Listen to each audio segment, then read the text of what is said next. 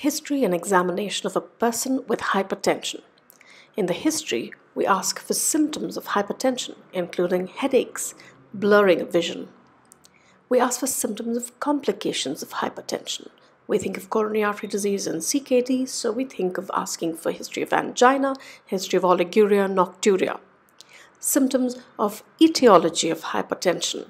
We think of essential hypertension, so we're going to ask for a family history of hypertension, increased carbohydrate intake, sedentary lifestyle, increased weight, palpitations, sweating episodes with headache, we think of pheochromocytoma, weight loss, heat intolerance, diarrhea, and a history of goiter would suggest thyrotoxicosis, a recent pot belly, purple striae on the abdomen, thinning of the limbs in Cushing syndrome, a history of skin rash, joint pains, oral ulcers, Raynaud's phenomenon for autoimmune disease, intake of pills which include OCPs, NSAIDs, or steroids can cause hypertension. We ask for that history, a history of PIH and past pregnancy. Then we ask for history of associations of hypertension like diabetes and high cholesterol. We ask for other things in lifestyle like a history of smoking and hypertension.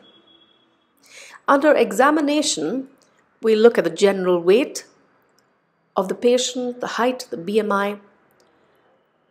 Uh, we look at the blood pressure in both the upper limbs and one lower limb. We check the blood pressure supine first, then sitting up five minutes apart, then standing five minutes apart for any postural drop in blood pressure. We look at the pulse, the quality of the pulse, the rate, rhythm, character, whether it's bounding or not, whether there's radiofemoral delay, radioradial delay, and the quality of the vessel wall, whether it's atherosclerosis.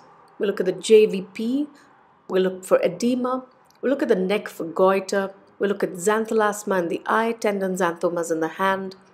We look at features for Cushing syndrome like a moon face, facial hair acne. We look at palmar flush for polycythemia. In cardiovascular examination, we look for a loud A2 component of S2 we look for a hyperdynamic apex and early diastolic murmur in the aortic area, which would suggest aortic regurgitation. Respiratory system, we look for respiratory rate. If it's high or normal, we look at crackles in the lung bases if we suspect a cardiac failure. In the abdomen, we look for masses. A palpable big ballotable kidney would be seen in polycystic kidney disease. Splenomegaly would be seen in polycythemia. We look for a renal artery bruit for renal artery stenosis. We look at the fundus. We look for cotton wool spots. We look for papilledema. When there's papilledema, we suggest that is malignant hypertension. The cranial nerve, the CNS examination would include any focal neurological deficit. We would say if there are brisk reflexes or not, whether Babinski is positive or not.